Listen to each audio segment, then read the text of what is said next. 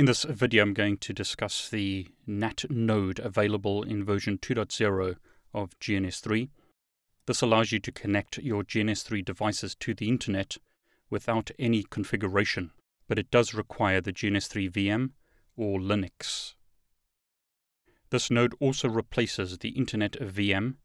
The conversion will be automatic for Internet VM users an additional benefit of the NAT node is that it consumes less RAM and CPU. Now you can find out the details of version 2 by going to the documentation on GNS3's website, clicking on release notes and clicking version 2.0. So the NAT node is one of the new options available in GNS3 2.0. In this topology, I'm running GNS3 2.0 1.0 beta 3. Under the All Devices option in GNS3, I have the NAT node, so I'll drag that to the workspace. In addition, I'll drag a IOSv router to the workspace and then connect the router to the NAT cloud. So it's as simple as that to connect a GNS3 device to the cloud. I'll start this up and I'll open up a console to the router. The router is booting up. IOSv devices take a while to start up. This IOSv device is running in the GNS3 VM, which is recommended on both Mac and Windows. In this example, I'm using VMware Fusion on a Mac, but the process is very similar if you're using Windows. So we have to wait for the router to boot up, and then we'll configure an IP address using DHCP on the router. You don't have to do any other configuration apart from that to get one router to connect to the internet. In a moment, I'll also show you how to add an additional router to the topology and get that router to connect to the internet. Okay, so the router is booted up. I'm going to bypass the initial configuration dialog.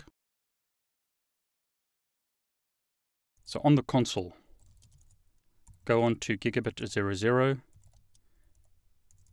enable DHCP, so IP address DHCP, no shut.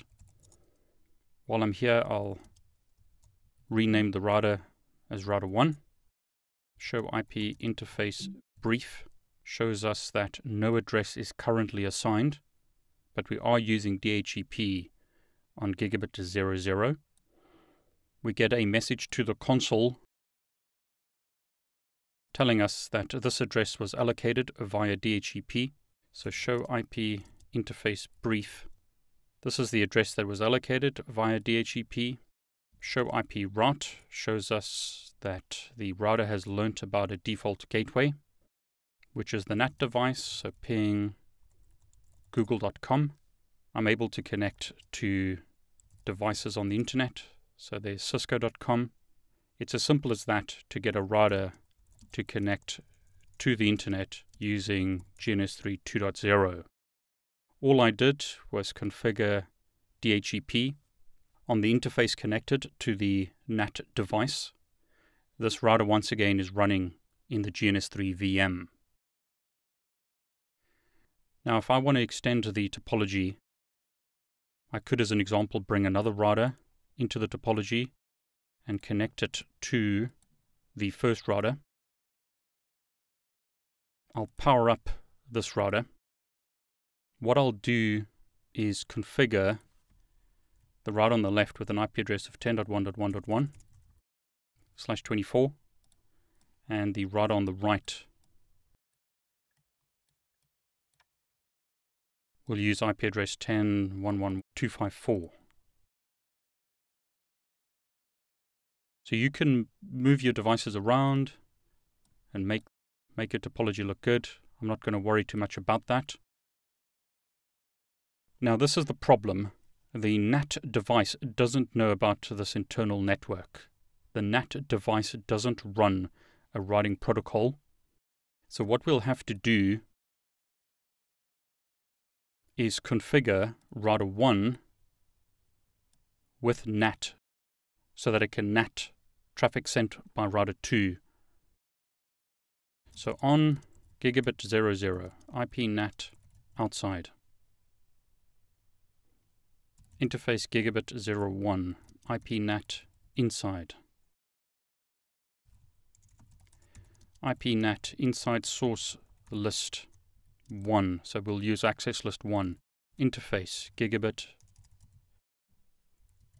0 slash 0 overload. Access list 1 permit any. So if you've got any additional devices in your GNS3 topology, you'll need to configure NAT on the router that connects you to the internet device. So configure an IP address using DHCP and then enable NAT and make this the outside address. On your internal address, set it to NAT inside and don't forget to configure an IP address like I did there. So I'll configure that IP address on the inside. So again, this is the outside interface. This is the inside interface. And I've configured NAT as follows using an access list of 1.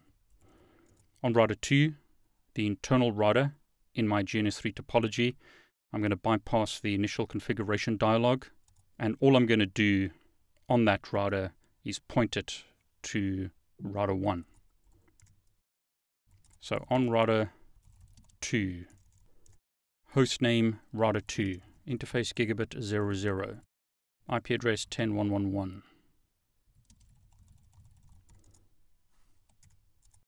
No shut. IP route. Default gateway will be 10.1.1.254. IP domain lookup is required. That is the default on IOSv, but is not the default on Dynamips images. IP name server, and I'll simply use Google for this. So, IP route, ping, google.com. So it's trying to get to Google.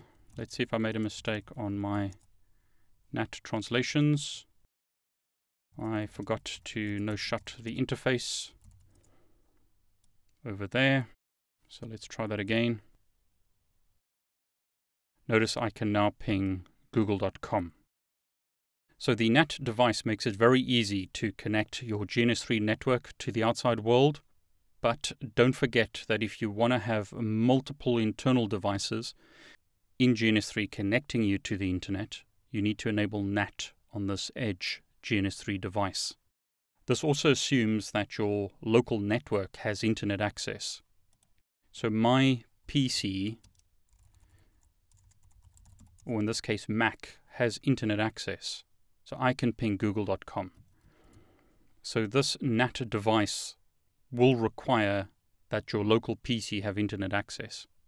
But if that's true, then it's very easy to get GNS3 to connect to the internet when using GNS3 version 2. Hope you enjoyed this video. If it was of benefit to you, please like it and please subscribe to my YouTube channel. I wish you all the very best.